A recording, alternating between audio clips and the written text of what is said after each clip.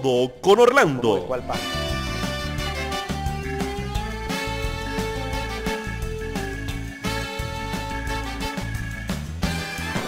Queridos amigos, bienvenidos. Yo soy Orlando Urdaneta y están viendo ustedes CB24 desde el corazón verde de Centroamérica, transmitiendo para nuestra región y el resto del mundo. Antes de comenzar con el mapa político, un comentario. Tengo aquí encendido mi Periscope, así que este pedacito de programa lo van a disfrutar amigos que ya se reportaron desde Maryland, Abu Dhabi, Sicilia, una cosa impresionante. Este texto que voy a leer es de lapatilla.com, de donde cordialmente me lo robé.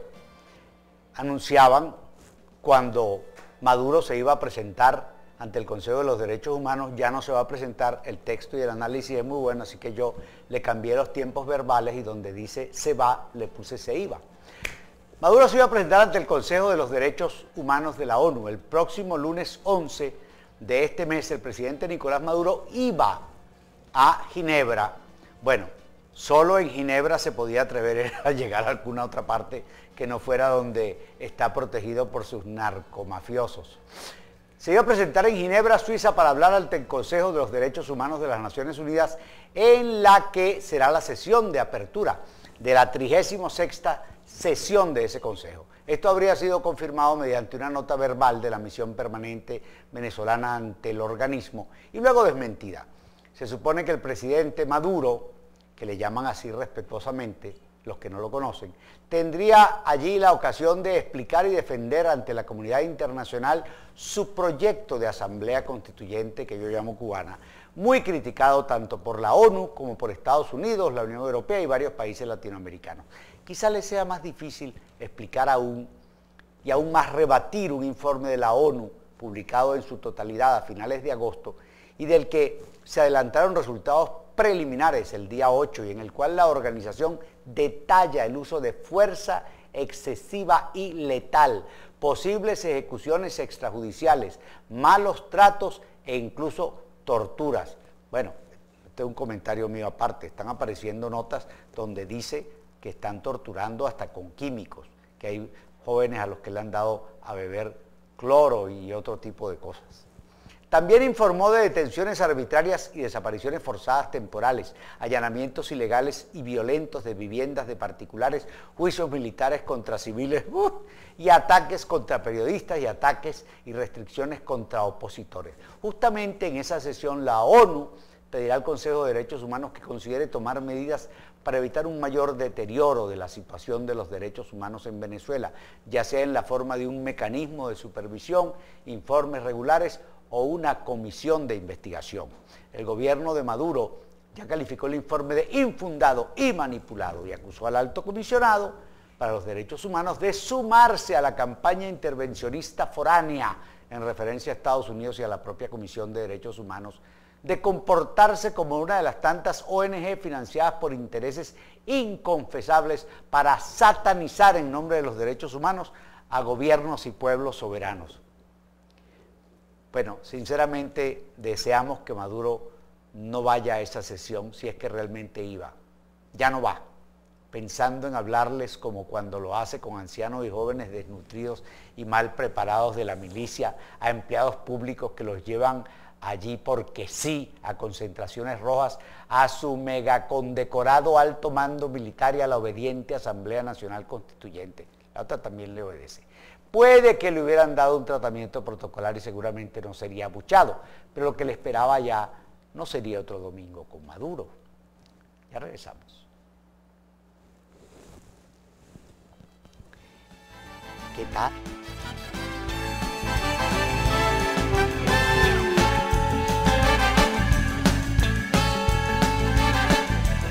Ya no me dejaron seguir jugando con mi telefonito y Skype y. Mm. Les tengo un notición. Imagínense ustedes que yo iba de repente a Mastranto, entonces ya era las 5 de la tarde, entonces ya Mastranto cerraba. Entonces tenía que esperar un rato para que abriera Caracas. se fusionan Mastranto y Caracas Bistro Ambar. Así que desde las 7 de la mañana hasta cualquier hora de la madrugada usted disfruta de buena mesa, buena comida y buena bebida. Recuerde, en el Callejón del Hambre, ahí en Guachipelín, eso se llama Centro Las Palmas, por si alguien no se había enterado. Plaza Las Palmas. No griten los aplausos. Ya saben entonces, Mastranto, Caracas, una sola maraca de lugar, casi nada. El exquisito menú de comida criolla venezolana y la maravillosa atención y la música de Caracas. Qué maravilla, Bistro Ambar, todos juntos. Bueno, para Car Rental. Hoy me llamaron, me dijeron, mire compadre, mándeme el kilometraje de su vehículo. ¿Cómo? Y cuando se lo di, me dijo, usted sí pasea, pero ¿y cómo no voy a pasear yo con estos paisajes, estos bosques, estas montañas y un vehículo tan sabroso como el que me da Paradise Rental. Y usted puede también rentar uno porque además de que tienen el vehículo para cada paseo, para cada actividad, tienen las mejores tarifas y las más económicas. Recuerde, estamos a 700 metros del aeropuerto Juan Santa María en Oficentro, Plaza Aeropuerto Local C8. Paradise Car Rental. Por un momento creí que yo me estaba despidiendo de este bloque, estoy empezando, ¿no? Bueno, pero no es flojera, es que me confundí. Según la fiscal Ortega, el inventor de los delitos, el inventor de delitos según la fiscal reveladora de secretos, Ortega Díaz señala que su sucesor inventa delitos y construye expedientes como parte de una campaña contra ella, su familia y los trabajadores del Ministerio Público. Luis Ortega Díaz está, al menos estaba ayer, si usted quiere más detalles del complicado y relampagueante itinerario, dice esto no es mío, esto lo dice la patilla. Dice, consulte a Orlando Urdaneta en su programa Todo con Orlando en CB24 Costa Rica. Bueno, gracias por hacernos esa publicidad en la patilla. Y en México, entre otros actos, fue entrevistada en W Radio, la emisora colombiana, donde dijo que enfrentarse al gobierno de Maduro, como lo hace, acarrea muchas consecuencias que está padeciendo. La persecución que hay en mi contra, dice Luisa Ortega Díaz, es para que a nadie más se le ocurra hacer esto. Inventan delitos para enjuiciar a los funcionarios del Ministerio Público, para privarlos de libertad. Denunció que el fiscal usurpador, Saab, ocupa su tiempo en construir expedientes para ensuciarme a mí y a mi familia y agregó que tiene todas las evidencias, no solo testimoniales, sino documentales, de que Maduro y otros altos dirigentes oficialistas están vinculados con los sobornos de la constructora brasileña Odebrecht.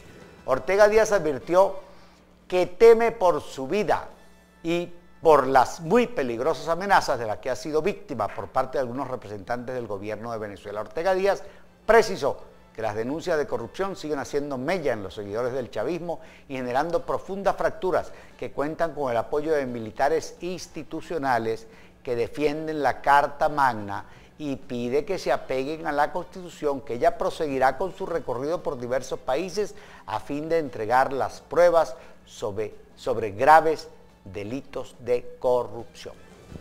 El PSUV ganaría 10 de las 20 gobernaciones que tienen hoy y perdería seis. Con esto el CNE enfrenta al frente cualquier cosa puede pasar. Con este CNE sí. Lo malo de este cálculo es que quien lo hace es el mismo que miró a los ojos a un testigo y supo que le decía la verdad y después que el testigo mentía habitualmente. Fue Isaías Rodríguez, hoy segundo vicepresidente de la Asamblea Nacional Constituyente. En sus tiempos aquellos de fiscal general de la República, cuando alguien todavía no identificado asesinó al fiscal Danilo Anderson, Rodríguez declaró en Benevisión que el chavismo tiene aseguradas 10 gobernaciones y que podría ganar otras 4. Actualmente el oficialismo gobierna en 20 de los 23 estados. Eso es mentira. Gobierna en todo, porque aunque tienen un gobernador opositor, ellos lo tienen pisado. Y ahora van a pisar a todos los que se van a elegir en estas elecciones fraudulentas y farsa electoral que se avecina. Y hay quien diga que perdería todas las gobernaciones, así como otros aseguran que todo es un montaje y la constituyente. Si ven que el gobierno va a perder por como en la oposición aseguran que sucederá, simplemente alegará cualquier argumento constituyentista, cubanista, para anular los comicios. Es que lo que provoca es... Duro trabajo, canciller de Venezuela, el duro trabajo del canciller de ahora, ¿qué tal? El inexpresivo canciller venezolano no emociona a nadie, pero se gana el sueldo cumpliendo mandados de diseñar una política exterior inteligente que ni él ni el presidente conocen.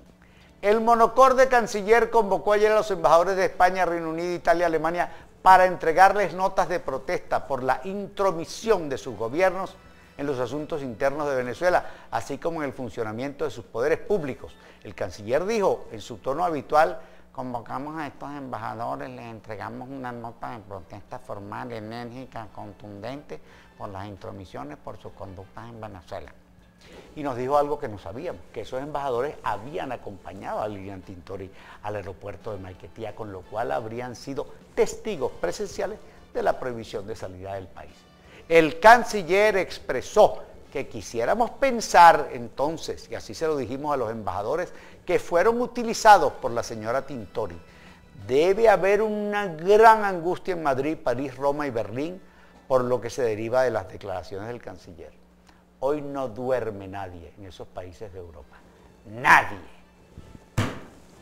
¿Y qué dice la Universidad de Ciencias Empresariales SUSEM? Bueno, que la vida moderna nos enseña que la preparación académica dejó de ser un lujo para convertirse en una necesidad vital el progreso del hombre y la mujer. Una carrera de ciencias... Una carrera, no, ahora no lo hago una carrera en ciencias empresariales te alista para triunfar en la búsqueda de tu mejor futuro financiero. La Universidad Centroamericana de Ciencias Empresariales fue creada para brindarle a sus estudiantes una sólida base. Así que por favor, tenemos la carrera más económica del más alto nivel. Ven a la esquina noroeste de la Catedral de Alajuela en Costa Rica. Mamá más, mamá menos, de todas maneras puedes venir a disfrutar de la bodega más completa de vinos en la zona.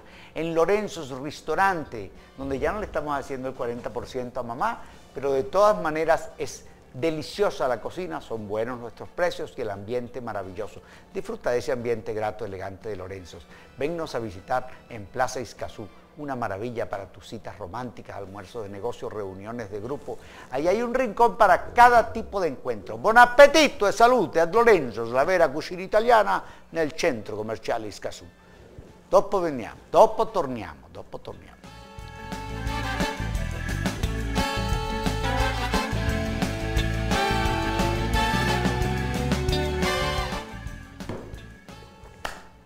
En Panamá te están esperando para hacerte un acertado diagnóstico para tu vehículo. Eso es allá en la calle 14 Río Abajo a 100 metros de la vía España, exactamente, Carmix de Panamá. Recuerda que además de la, del escáner, del diagnóstico computarizado y la mecánica preventiva, somos expertos en frenos rectificados de discos, frenos de suspensión, tren delantero. El pulimento es un lujo, el detailing, todo eso, revisión y servicio y mantenimiento de tu aire acondicionado, instalación de accesorios para todo tipo de autos y para tu 4x4. Visítanos. CarMix en la calle 14, Río Abajo, a 100 metros de la vía España, o llámanos 6671-2563. 6671-2563, CarMix, Panamá. Bueno, volviendo al paisito ese, ahora resulta que el desastre económico del país se resuelve si Trump retira sus sanciones económicas. O sea que todo comenzó cuando Trump ganó la presidencia de la República. ¿Qué le parece? El general García Carneiro aseguró que Venezuela no necesita un canal humanitario, sino que le sean retiradas las sanciones. El militar retirado, que siempre fue leal a Hugo Chávez, y su defensor en momentos difíciles, eso hay que reconocerse. Y uno de los primeros ladrones que tuvo alrededor Chávez, hoy gobernador de Vargas, sigue robando, muestra en la foto durante su presentación en Globovisión una figura redondeada que claramente indica que al menos él no necesita ayuda humanitaria. Afirmó que Venezuela tampoco que lo único que el país requiere es que sean suspendidas las sanciones económicas recientemente ordenadas por el presidente de Estados Unidos. Yo me imagino que todos estos imbéciles cuando van a declarar, seguramente que se leen el libro gordo de Petete, yo no sé qué se leerán, pero no pueden ser tan cretinos tanto juntos al mismo tiempo. Cojan un descansito, unas vacaciones, coño. García Carneiro rechazó la gira de Julio Borges y Freddy Guevara para reunirse con los máximos representantes de cuatro gobiernos europeos, señalando que quieren disfrazar una gira, pero lo que quieren es seguir pidiendo sanciones. Es un engaño, un pote de humo para que la gente se confunda. Volvió con el tema de la guerra económica que instauró Estados Unidos en alianza con la oposición cuando Nicolás Maduro comenzó su mandato. ¿Por qué él habla mal de la oposición si ahora son lo mismo, son aliados? Oposición y régimen son lo mismo, quieren hacer sus elecciones, ya van a fusionar la Asamblea Nacional Cubana con la Asamblea Nacional Constituyente Cubana. Yo no entiendo. Bueno, remató el carnicero que las sanciones no son contra Maduro, sino contra el pueblo. Bueno, nous sommes ici, monsieur le président. Julio Borges y Freddy Guevara fueron recibidos ayer en París por el presidente Macron. El presidente francés ha venido endureciendo el tono en sus referencias a Nicolás Maduro, su gobierno y sus actuaciones. Y la semana pasada dijo que estaba preocupado, lo voy a decir en francés, estoy preocupado por la situación de Venezuela que estaba dispuesto a trabajar con aliados en la región para evitar una escalada de la crisis. ¿Qué tal mi francés? Good, excelente, chamo. Planteamiento que generó otra de las poco originales respuestas de la desangelada Cancillería venezolana. La situación venezolana es recibida con respaldo en Francia solo por el partido de extrema izquierda. En Francia, insumisa, el más crítico con la gestión de Macron que le hace en Francia a Maduro y a su gobierno tan flaco favor como Podemos y otros desaforados de España. Por cierto, dígame ahora, los de Colombia. El otro día leí una cosa buenísima donde le decía, pero ven acá, ¿por qué están viendo los trailers de la FARC en Colombia? Vénganse para Venezuela, que hace 18 años que están pasando la película completa y no se acaba nunca. Aunque pareciera que empiezan a darse cuenta de que apoyar al oficialismo venezolano empieza a ser suicida. Ajá. Hasta los de la izquierda europea a veces piensan, a veces lo que se quitan el billete de los ojos. Todavía no hay detalles de lo discutido en la reunión en Élysée, en. España se une al clamor europeo para que Maduro deje viajar a Lilian Tintori. No son los primeros. Ya antes la canciller alemana Angela Merkel, el presidente francés y otras personalidades europeas pidieron lo mismo. España podría aplicar medidas restrictivas a Venezuela. El ministro español de Exteriores, Alfonso Dastis, reclamó hoy, ayer lunes, una solución pacífica, democrática y negociada para Venezuela y pidió a las autoridades del país que permitan salir a Lilian Tintori, esposa del opositor Leopoldo López, que tenía previsto visitar a España hoy, decían ayer, mañana. En una comparecencia parlamentaria, Dastis informó que el gobierno español está promoviendo la aplicación de medidas restrictivas para responder a la gravedad de la situación en Venezuela y evitar sufrimientos de la población local. También informó que este martes se reunirá con el presidente de la Asamblea Nacional Venezolana, Julio Borges, y el vicepresidente de este cuerpo, Freddy Guevara. Ese cuerpo cobarde, como la canción de Gualberto y Barreto. Ahora, Lilian no viaja y ellos sí viajan. Nadie puede salir de Venezuela, a todo el mundo le quitan los pasaportes, a todo el mundo, pero a ellos no le retienen los pasaportes y ellos sí viajan. ¿Qué nos dice esto? ¿Qué nos dice esto? No, a mí no me dice nada, yo, a ustedes. Lamentó que no sea posible con Lilian Tintori. Cancillería venezolana exige al gobierno español respeto a la democracia venezolana y sus instituciones republicanas. Exigencia al gobierno, especialmente al presidente español Mariano Rajoy. El problema parece ser, aparte del acompañamiento del embajador español a Lilian Tintori a Maiquetía, que el presidente Rajoy habría escrito y difundido en su cuenta de Twitter la del pajarito azul, lamentable la prohibición de la salida a Lilian Tintori. Pueden encerrar a las personas, pero no a los ideales. Libertad para Venezuela. Esto, por supuesto, no sé por qué no le gustó al gobierno de Venezuela y el canciller Arriaza respondió en su Twitter como recordatorio a Mariano Rajoy que la arrogancia imperial fue expulsada de Venezuela hace 200 años. Queridos amigos, hasta aquí nuestra emisión del programa de hoy. Hoy hemos tomado cosas de aquí y de allá, muy especialmente de la patilla.com y siempre del reporte informativo diario que elabora nuestro querido don Alfredo Maldonado. Gracias por ustedes habernos permitido acompañarlos, que el Dios de su me los acompañe y cuide mucho. Aquí nos volvemos a ver. Digo si estoy. CB24, el canal centroamericano de noticias, a nombre de Paradise, el car rental que le brinda las tarifas más económicas a la hora de alquilar el mejor vehículo para su viaje de negocios o de placer. Cafetería y restaurante Mastranto, con el más exquisito menú de comida criolla venezolana. USEN, la Universidad de Ciencias Empresariales, formando hoy a los triunfadores del mañana. Lorenzos, la vera cucina italiana en el centro comercial Plaza Itzcazú.